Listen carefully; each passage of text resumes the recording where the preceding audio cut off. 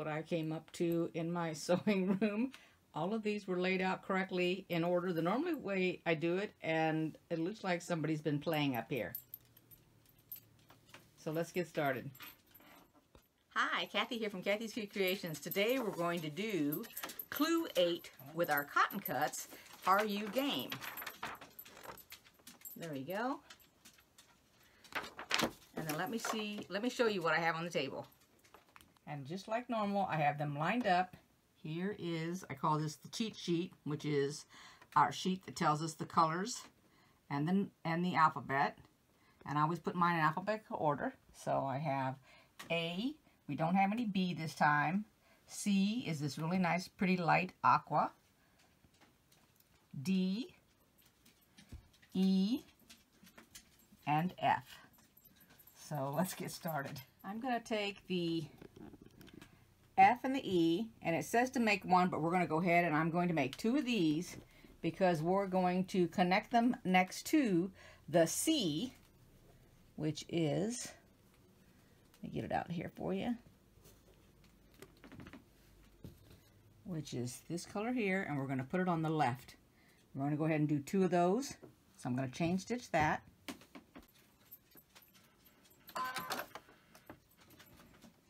Be real careful. We're going to be sewing on the bias. So take your time. My length is two and a half and my needle is a 12.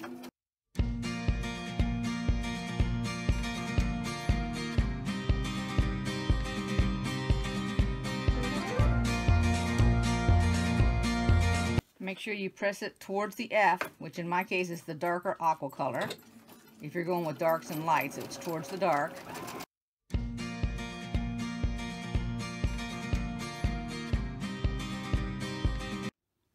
When you're done, you'll have two that look like that. And then you're going to take them, you're going to lay them down, and you're going to take the rectangles and put them across the top like that. And we'll, I'm going to go ahead and do both of mine, because we make two of them. And we're going to label that section 8A. All right, so now I'm, I went ahead and I pinned these. The last one was pretty slippery, so these are both pinned. And I put my fabric, this piece here, on the bottom and pinned it because I want to watch this other side. And I don't recall if I said that you needed to iron towards the rectangle the last time around, or the C, whatever your yours is labeled or not. Just to let you know. Because it was slipping and sliding all over the place the last time I was sewing it. So I thought, well, to avoid that, I'll just pin it. So it must need to be pinned a little bit.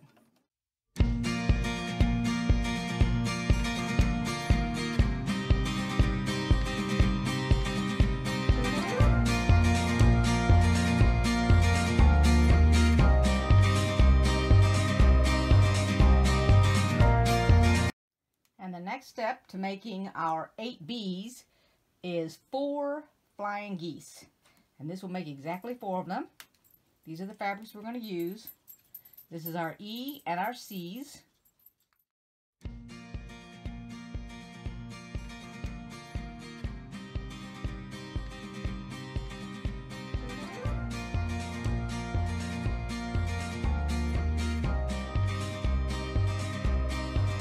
Forget, if you start out and it starts tucking under on you, you can put a little starch on that end. Take it out, starch it really, really good to make it stiff, and then put it back underneath there. That's what I do when I have a issue going on because it doesn't like it. I got these other ones pinned because for some reason they want to be real slippery today. Not quite sure why.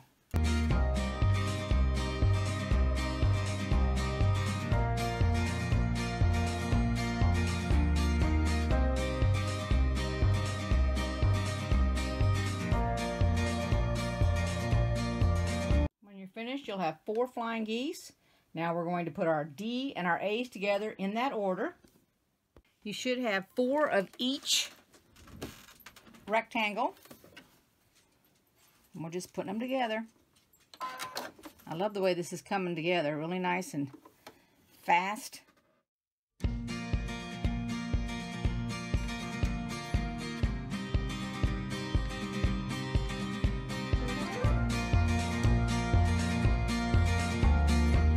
Turn them all open.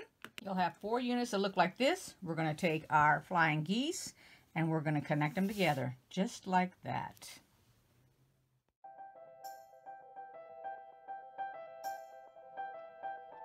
Okay, I'm going to take a look at this one before we go on. Okay, so it turned out really, really good. And you're going to press towards downward, so you're going to press towards the dark. So when you get finished, this is what the underneath piece will look like. You'll have one going up, one going down.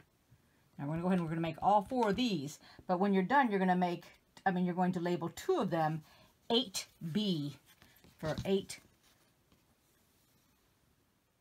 I came back because when I went to put this section here together. This is the very next one I was doing, and I was putting them together.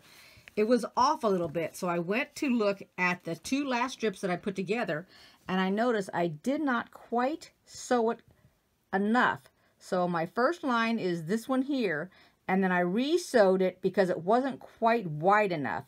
I'll go ahead and I'll take out this closest stitches to the edge here. And now I'll pin it together. But that's what you want to be careful of when you go to put them together because otherwise your flying geese will make the next set of fabric that you connect to it kind of off or bubbly or it won't sit straight so it won't look right. It'll always look off to your eye when you look at it. So just take note of that when you're doing it. Just do each one separately if you have to and don't chain stitch them or stop and fix them before you completely chain stitch all of them. Alrighty, let's get these done. And I went ahead and I pinned them so I'm keeping pretty well in order. Remember, we're marking two of them as 8B because we have to add to the last two. We have two little strips left in the fabric C, which is the lighter aqua.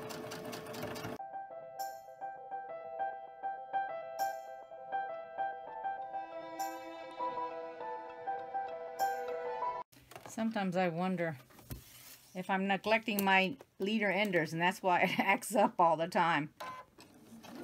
Because it wants me to put one on there. Although, you know, that's not true.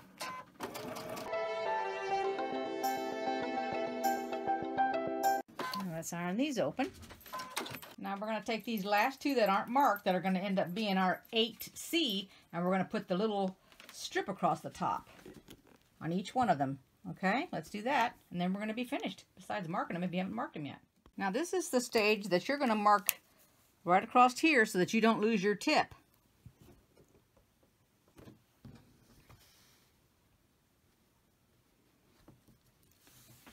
So you want it to come right above it. So put your pen or your marker above it. Put your ruler on there. And then just go across. And then that's your sewing line on that.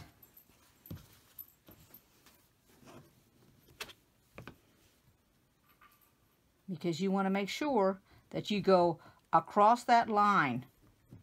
If you go too low, if you go too far below the line here, you'll get your tip. It's okay if you go right across that line. You won't lose the tip on this goose. Now I pinned it and I'm ready to sew it. And you're just going to take your time. And then remember, you're going across that line when you get up to it. No reason to be in a hurry.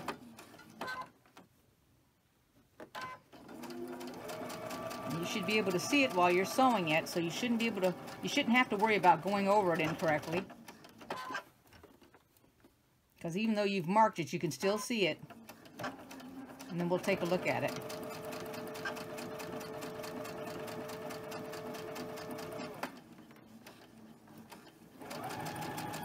Let's take a look real quick.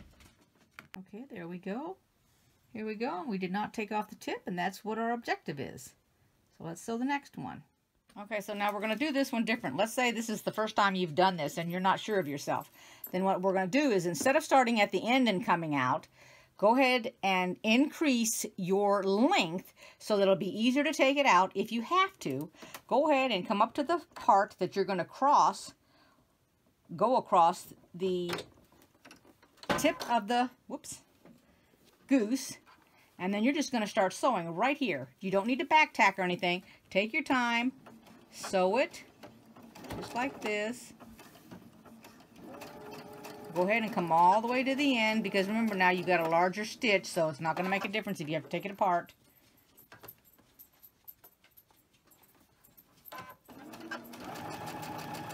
Then we're going to take a look at it before we continue. First thing I did was I took my pin here and acted like it was the stitch so that when I open it to take a look at it, it'll fold nice for me. And that's where I want to look at it to see. And see, that's just fine. No problem. I didn't take my tip off. So now I can turn around and go ahead and start at the top and come down. If I'm unsure, you can always come up here and come to meet it and then start at the top. It's going to be your preference as to how you want to do it. I'm just going to start at the top. Now, if you need to, or you feel like you need to go ahead and mark a quarter of an inch on your fabric, you can go ahead and you can do that from the very top all the way down the whole thing, just for this piece here where you've got this marked at the tip. It's not that you've got to mark the whole entire thing, and then I just come right over the top of it. Not, did not lock it into place, and all I've done is gone over the same exact strip, so then I don't have to worry about locking it. There we have them all finished. There's our A, our B, and our C, and we have two of each. And I put a little two with a circle to represent two of them in case my pen gets dislodged. And that's it. I hope you guys enjoyed this video. If you did, and you want to see more, click on the little bell. You can make a comment if you'd like, subscribe, and I'll see you all next time. And thanks for watching, everybody, and welcome to all my new subscribers.